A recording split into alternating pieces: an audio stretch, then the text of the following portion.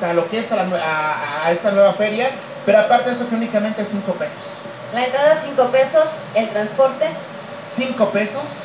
Estamos hablando que es como cuando yo agarro la combi amarilla y me lleva a 3, 4 cuadras o al lugar que voy, me cobra 5 pesos. Entonces, realmente no hay excusa, excusa para que disfruten este gran esfuerzo que el gobierno del estado de Michoacán está haciendo para traer eventos de calidad a muy bajo costo para que toda la gente, toda la gente michoacana y la que nos visita tenga la oportunidad de disfrutar de esta fiesta, de esta Expoferia Michoacán Bicentenario 2010. Además ya sabemos que también se tiene gastronomía, también están los juegos mecánicos y va a haber una serie de exposiciones muy interesantes para que la gente venga, asista, participe, conozca, aprenda, se divierta, realmente vale la pena.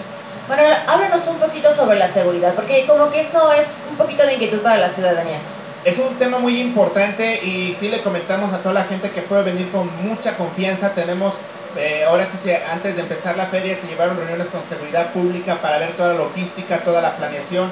Pero un factor muy importante que me gustaría a mí compartir con la gente es que el hecho que se haya erradicado la bebida alcohólica en áreas libres habla mucho de seguridad.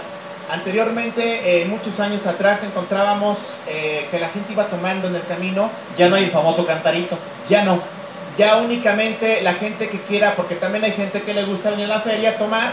Hay lugares específicos, lo tienen que tomar adentro y consumiendo alimentos. Pero no pueden salir con el vaso. Entonces, eso a mí me da una seguridad como michoacano de venir con mi hija, de venir con mi madre y disfrutar de esta fiesta y saber que no me voy a topar con un borracho imprudente.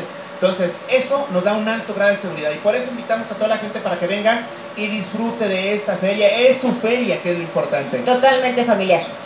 Totalmente familiar, estamos hablando desde el pabellón infantil que tenemos para todos los niños, pero es importante decir que es para todos los niños de todas las edades, ¿eh? En